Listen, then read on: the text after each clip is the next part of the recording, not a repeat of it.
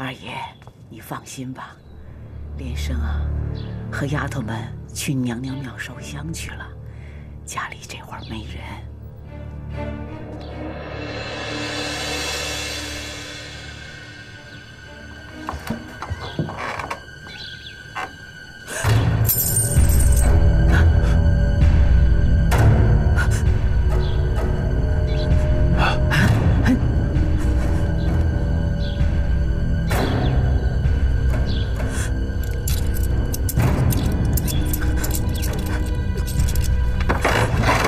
我站住！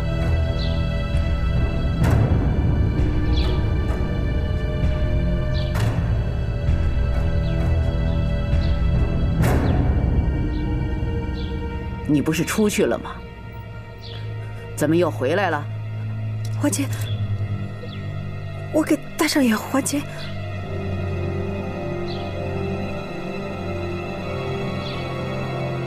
你都看见了什么？没看见，什么都没看见。真的？真的，真没看见。哼，我年轻的时候，庙里的师傅给我卜过一卦，说我这辈子最犯忌讳的，就是七月初七的女人。我这一生啊，就认识两个七月初七的女人，一个已经死了，但奶奶，我真的什么都没有看到，我也不会乱说话。我现在只想安安稳稳的过日子，别的事情跟我没关系，真的没关系。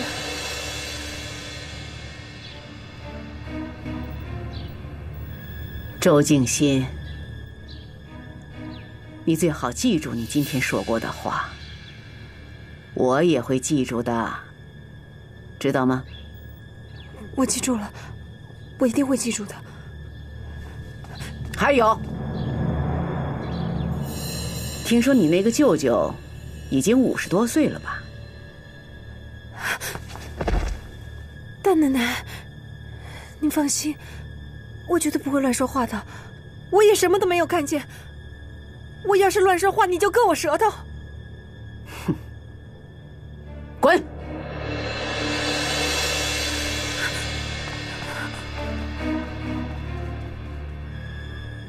哼，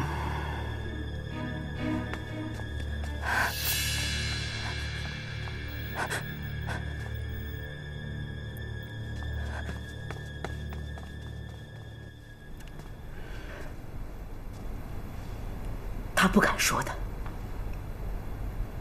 我会看好他的。云农，我们不要再这样下去了。这件事我会处理。我们不要再这样下去了，总有一天，总有一天会被孩子们发现的。今天是给周静心发现了，如果有一天。给武生，或者是连生。我说过，这件事我会处理的。今天是我的疏忽，我以为他跟大伙儿去庙里给娘上香，谁知道他中途回来了，我错了。我不想再这样偷偷摸摸下去，我不想再偷偷摸摸过日子。我偷偷摸摸了一辈子，现在我老了，我不想带着秘密过日子。我是人家的爹，是，你是人家的爹，可我还是人家的娘啊！你不想偷偷摸摸过一辈子？你以为我愿意偷偷摸摸过一辈子吗？为了你，我嫁给一个我不爱的人。我这一生还求过你什么？我跟你要求过什么？我就要求这么一点点安慰，难道都不可以吗？这样我还活下去干什么呀？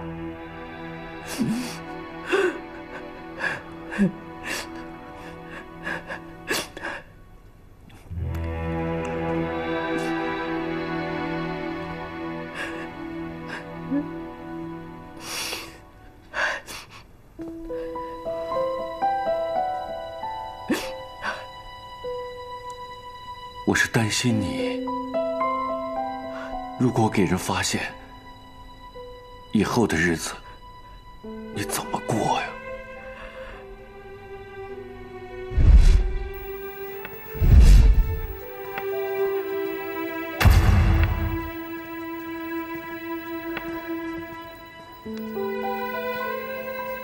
娘，你还有脸叫我娘？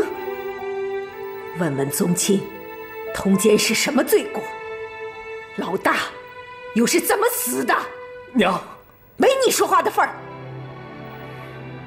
提要回家的时候，他已经染病。住口！你以为我什么都不知道吗？老大是被你们气死的。如今私生的孩子都有了，你对得起老大吗？你们对得起老大吗？门风不正，乱我血宗，这是陈塘的罪过。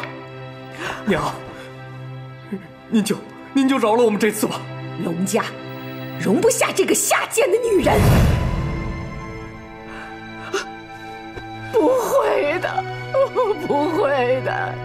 定不会的。我不会让这件事情威胁到你的，你放心。庭月，我不能没有你，我真的不能没有你呀、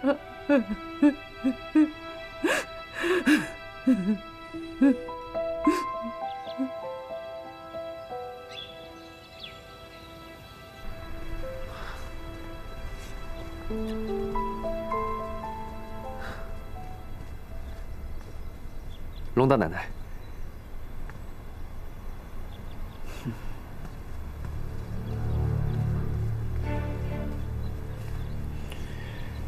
今天是龙二爷说的吉日，我是来拿静心的卖身契的。三儿，给他。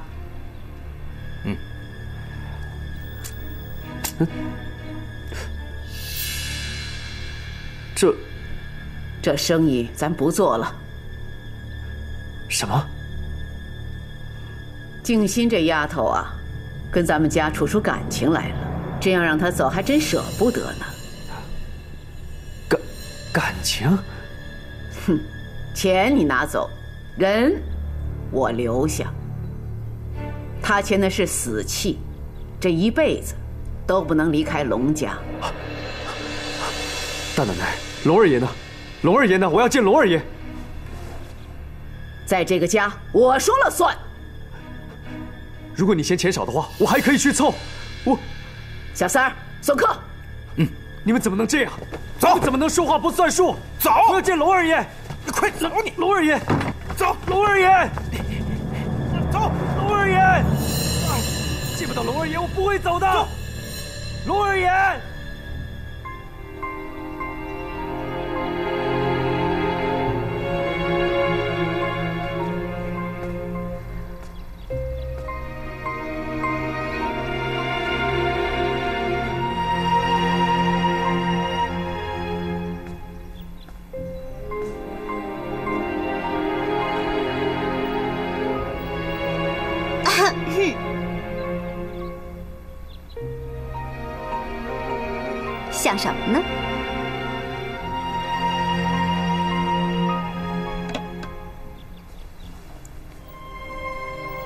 大小姐，大小姐，哼，上次你不是叫我龙连生吗？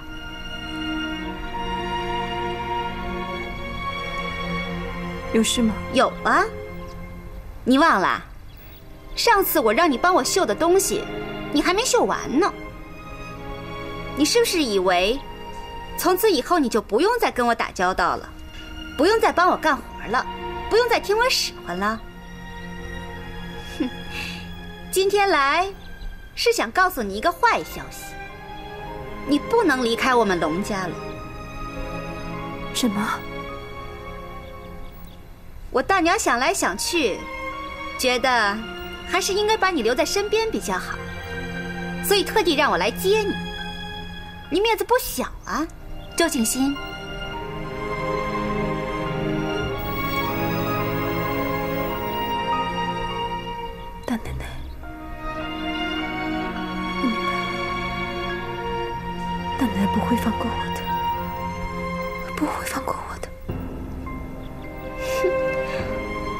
我倒是不明白大娘是怎么想的，连我爹都不说什么了，真奇怪。生活真是有意思，你看，这回咱俩又要在一起生活了。走吧，我的大少奶奶。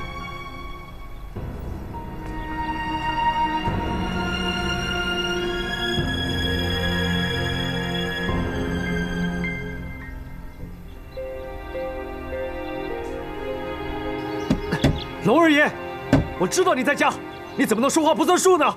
你给我一个解释，龙二爷，龙二爷。后婆，后婆，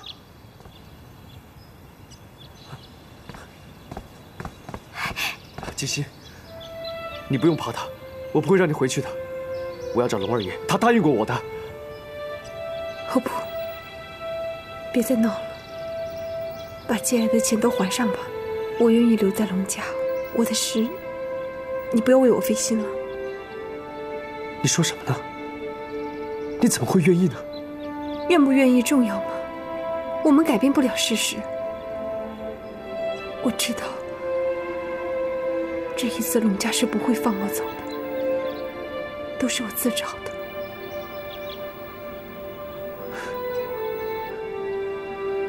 出了什么事？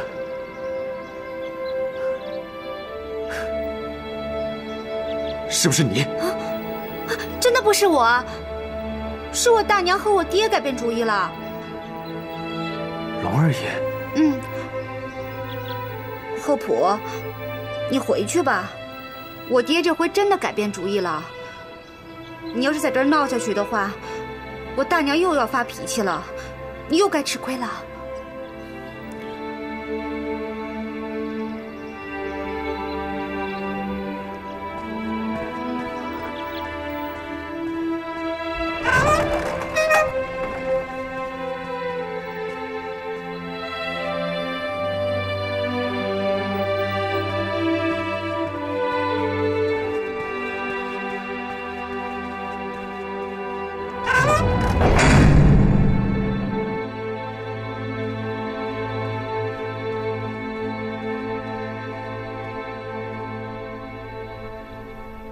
周静心，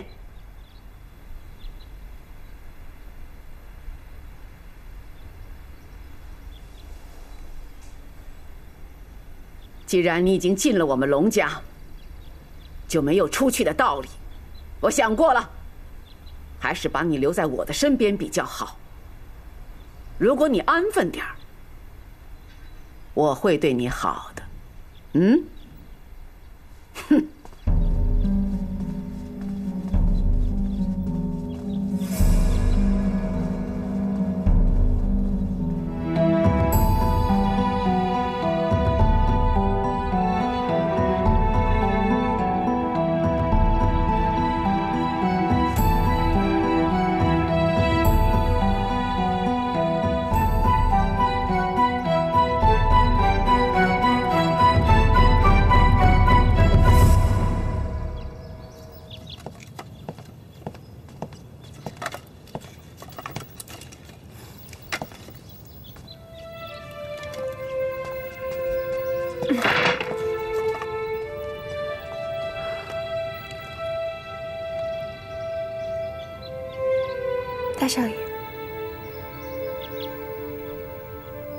小翠儿，小翠儿，上坟的东西都备齐了吗？备齐了，大奶奶。要仔细点儿，一样都不能少，知道吗？嗯，是。嗯，来放好。娘，哎，这么一大早要去哪儿啊？啊，你爹生前的一个老朋友，今天是他的忌日，妈去给他上坟。又是那个方旭翁方大夫吧？唉，小孩子问那么多干什么？忙你的去吧。你每一年都要亲自去拜祭，他自己没有家人吗？哎，说起来呀，他是朝廷要犯，株连九族，家里哪还有什么亲人？所以每年他的忌日，我都去给他上坟，免得他坟前太凄凉。还有啊，儿子，娘要跟你说一句，你年纪也不小了，也该收收心了，家里大大小小的事情。都应该关心一点你二叔病刚好，别让他太操心了啊。嗯。还有，别老往积善堂跑，田庄当铺也是咱们家的产业呀。交给管家管也不是个事儿。妈年纪也大了，将来这些都是要交给你的。多上点心，啊。哦小翠儿，我们走吧。是。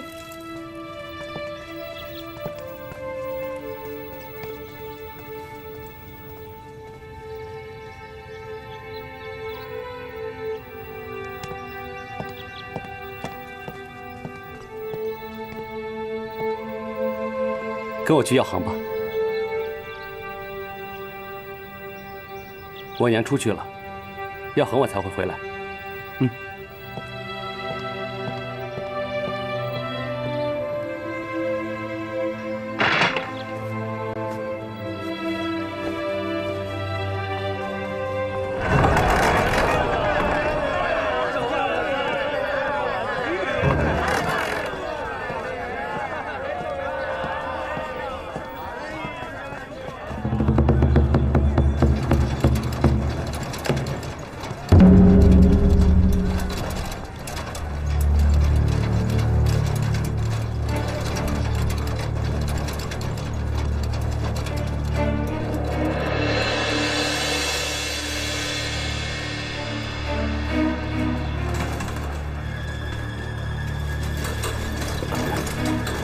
一下，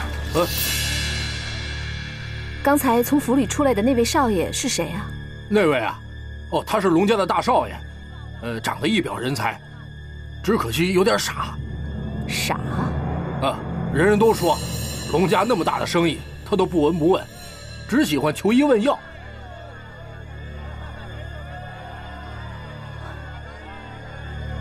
若真是行医救人，倒好了。呃，夫人，您说什么？没什么，离这座阴气沉沉的宅子越远越好。快走吧。哎，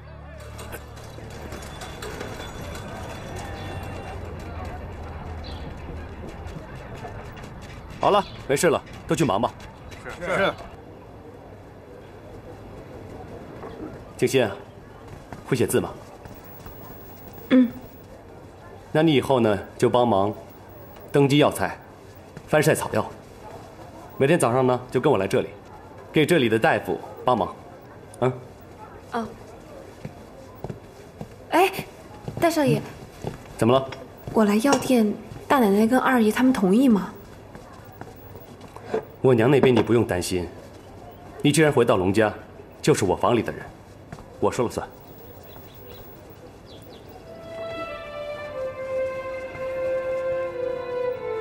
我娘为什么突然间又改变主意呢？我听他们说，说你那天闯进来说要还钱给我。是，我虽然穷，但我也不希望你以这种方式来可怜我。我不是可怜你，我是看到你绣的东西还算不错。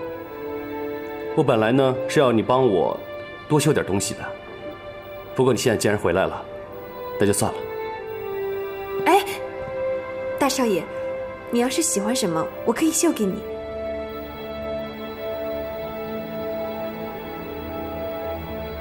怎么了？你不愿意在这里帮忙，宁愿在家里待着干活？不是不是，我来药店里帮忙，我高兴还来不及呢。可我只是担心。我担心大奶奶不愿意让我出来。嗯，看来我这个大少爷在你眼里一点地位都没有，就连差使一个房里的人还得请示我娘。我是不愿意给你添麻烦。回到龙家，不开心吧？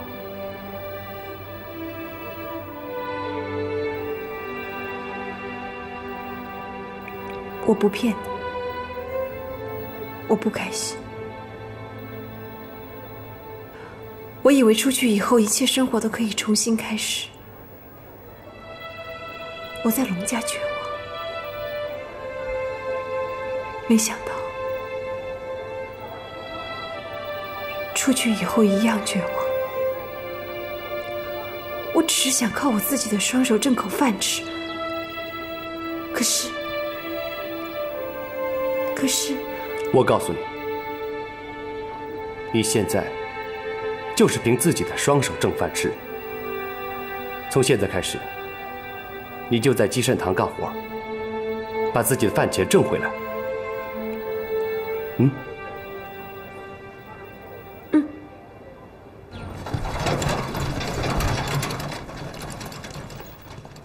武生。嗯。哎，普洱。这么急，赶着去哪里啊？没什么事啊，你找我有事吗？进去说吧。来，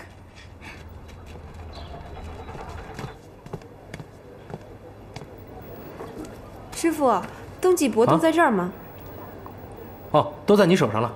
哦，店里缺人手，我让他过来帮忙的。他不是离开你们家了吗？啊，我娘又改变主意了，把他留下了。哦，你先查那边的吧。武生，不然我们出去走走吧。我也没有什么重要的事儿，只是有些心烦，想找你聊聊天，可以吗？可以，走吧。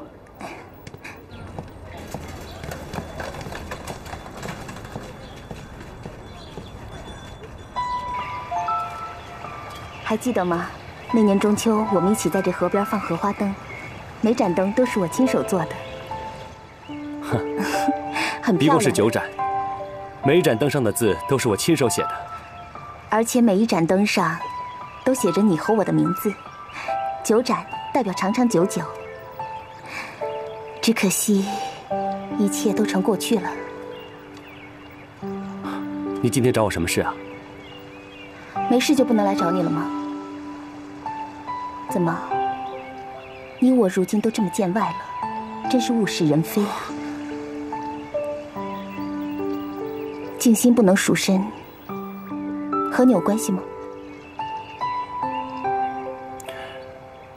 如果你是帮关后普来问这件事的话，那你告诉他，我龙武生明人不做暗事，所有的事情都是我娘做的决定。至于为什么，我真的不知道。哼，我只是随便问问。不过，关厚普不惜一切代价替静心借钱赎身，突然你们龙家又后悔了，我想他肯定会很难受。你还真替他操心啊？我们是朋友吗？朋友？男女之间有什么朋友？那你和周静心呢？她是我房里的下人。就这么简单？你想说什么？问问嘛，普儿，我告诉你，那个关厚普心机太重，你千万不要上他的当，知道吗？哼，你担心我呀？是啊。为什么？朋友嘛。哼，我，你怕我吃了他的亏？你看我妹妹，你就知道了。武生。我觉得你不该这么说厚朴。厚朴只要答应连生，他就能过上富足的生活，也不会得罪你们龙家。可是他敢冒天下之大不韪，甘愿被众人唾骂，也一定要有骨气的、堂堂正正的做人。厚朴他毕竟治好了你二叔的病啊！你今天来就是专门来谈关厚朴的吗？武生，我不喜欢关厚朴，我心里有喜欢的人。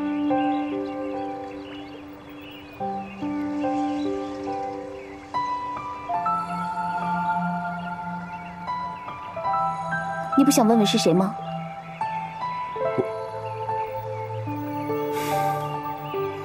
我普儿怎么？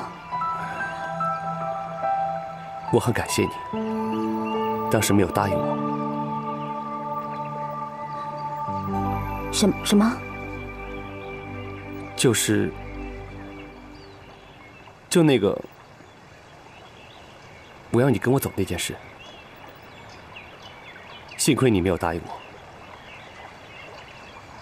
这件事上，你比我冷静多了。当时如果我走了，家里还不知道会乱成什么样子呢，而且也会毁了你。毁了我？是啊，我们之间并不是爱情，我们从小一起长大，你是唯一一个肯听我说话的人。我当时以为这就是爱情。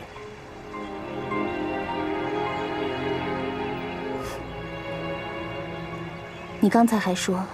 男女之间没有什么朋友可言。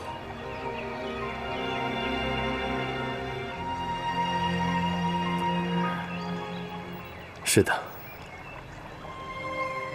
我们之间既不是纯粹的爱情，也不是单纯的朋友。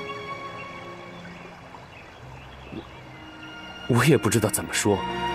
你这是什么意思啊？就因为后浦吗？跟他没有关系。我们家出事以来，我就好像突然间一觉睡醒了，明白了很多事情，也重新判断了很多事情。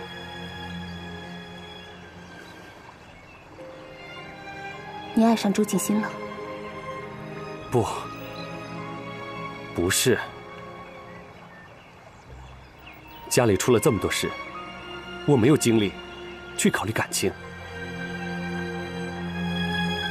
普儿，我希望你能找到一个合适的人家，只要那个人不是关厚普就行了。谢谢，谢谢你替我考虑这么多。恐怕这还不是你的责任吧？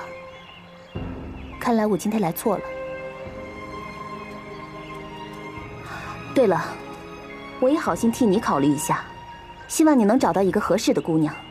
只要不是你家里的下人就好。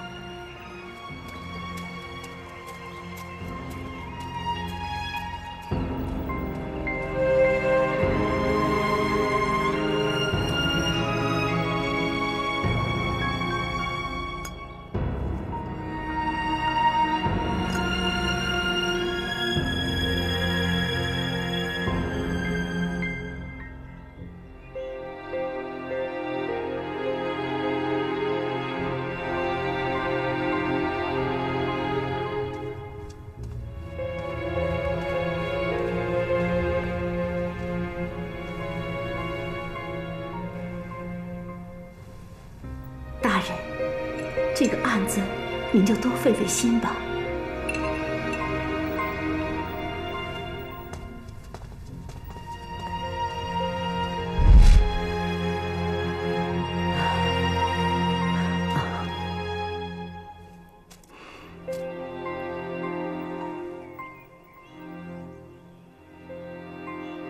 方大夫，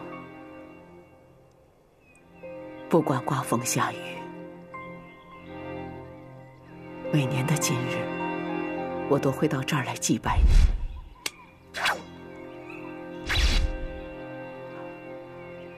不要怪我，要怪只怪你太多管闲事。不过，我能为你做的都做了。我为你修了墓，建了坟，所有所有的一切我都做了。你就好好安息吧。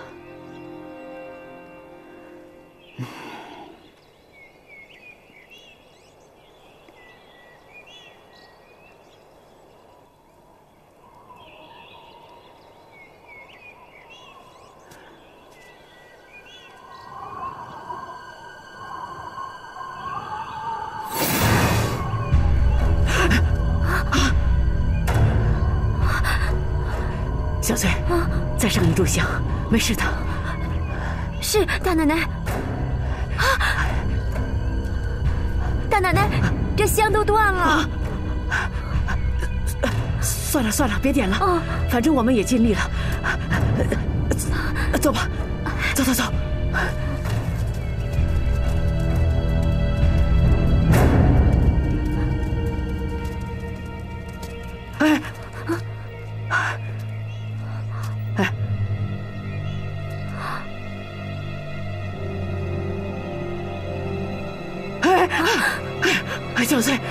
面那个白白的，是人还是鬼啊？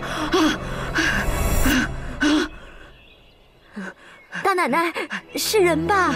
如果是鬼的话，他大白天不敢出来啊！快走，快走！你看仔细了没有？哎呦！我哪敢看仔细呀？从背影看呐，简直就是一模一样，太像了，简直太像了，就是当年放徐翁的老婆。莫非他没死？不可能！当年下人们亲眼看见他抱着孩子跳崖的，那个崖那么深，必死无疑。可是当年也没发现尸首啊。这世界上，就怕万一。万一？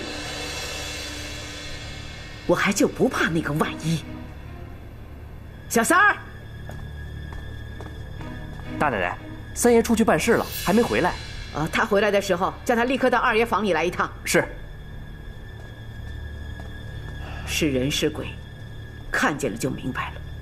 是鬼打鬼，是人。我倒要看看是何方神圣！哼！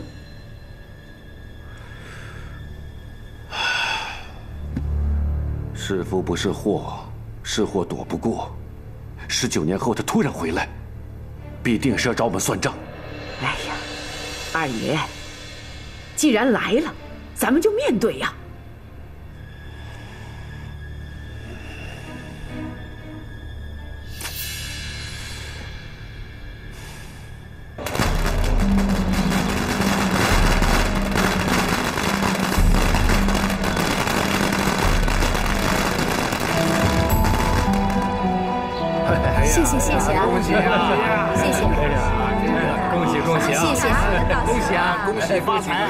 欢迎欢迎！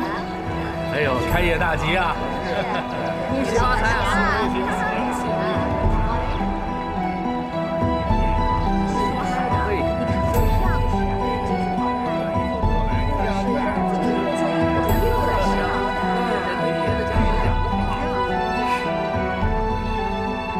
喜恭喜，大吉大利！多谢普洱小姐，你知道我的名字啊？说了不怕小姐见怪，我初来乍到跪地做买卖，对这镇子上的事情多少也得打听一二，更何况你我还算半个同行。今后还请普洱小姐多介绍些店里的客人来光顾我的裁缝店，到时候我一定优惠。好的，请问夫人贵姓啊？免贵姓万，慧兰是我的名。哦，那我就称呼您万老板吧。客气了。早就听说普洱小姐知书达理、聪明能干，是这镇子上有名的才女。今日一见，果然不同凡响。过奖了。对了，小店过几日要宴请宾客，还请普洱小姐来光临。啊，一定一定。听说万老板是从南阳来的。啊，对。怪不得，衣服样式这么好看。这方圆几里有哪家裁缝店能够赶上您呢？不愁生意不好。借你吉言，到店里坐坐吧，普洱小姐。哎，来，就是他，就是他。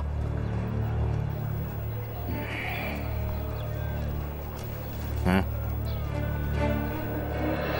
有什么新的消息？马上告诉我。嗯。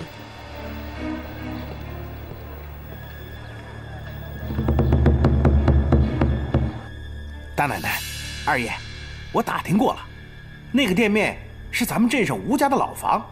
几个月前，一个从南阳来的人把那个店面给买下来了，说是要给他们家太太开店做生意。南阳，有谁会大老远的从南阳跑到咱们这个小地方做买卖呀？哦，那个买房的说了，他们家老爷是南阳的一个大富豪，娶了两房太太。这个老爷突然得病去世了，留了两份遗产。这个大太太和少爷继承了南阳的产业，这二太太呢，也没个一男半女，分的又少，加上受那个大太太和少爷的挤兑，就想把所有财产拿回家乡过日子。对，他就是从咱们镇上去的南阳。嗯，他叫什么名字？姓万，叫万慧兰。可是我们镇上没有姓万的呀。哦，他父母也不是咱们镇上的人，是从别的地方来咱们这儿做生意。那一年他年纪还小，不记得老家在哪儿，他只记得随父母是从咱们镇上去的南阳。你跟姓吴的交代过了吗？二爷，大奶奶，您放心。我都嘱咐过那个姓吴的了，不让他多说话，平常多留意一些，有什么情况马上报告给我。嗯，你先下去吧。哎，大奶奶好。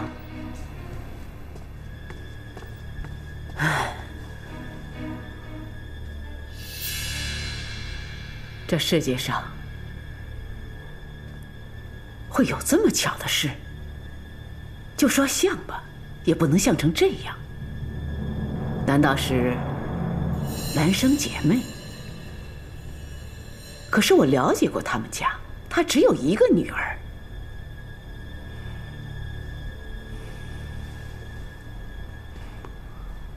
我总觉得这个女人不简单。无论她的来历背景，都和当年的心儿毫无相似，和方家也毫无关联。但是如果她是心儿，她的声音，她的谈吐。就是想变也变不了啊！嗯，哼，是福不是祸，是祸躲不过。我亲自去瞧瞧，不就明白了吗？连生，连生，连生，干什么呢？大娘想去做几身衣服，你陪大娘走一趟。不去。哎呀，干嘛不去嘛？年轻人闷在家里干什么呢？走，出去散散心。嗯，走吧。那您这边选料子，我们尽快给您做。哎，好，谢谢啊。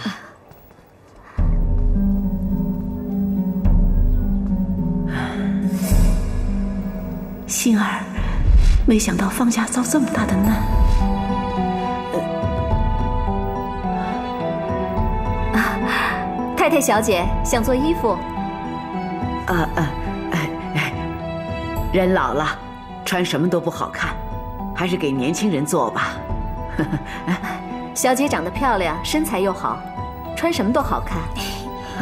何师傅，哎，来，您帮小姐好好设计一下。好的啊，来，小姐，去吧，去吧。哎，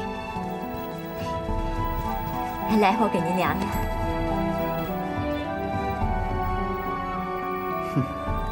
哦，夫人，您请坐。哎。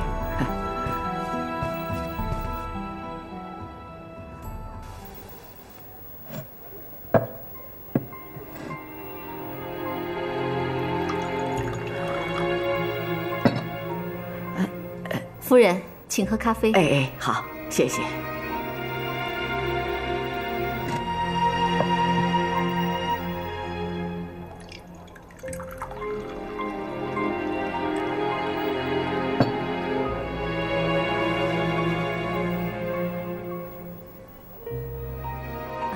您请啊。哦哦哦，好好好，好，谢谢啊。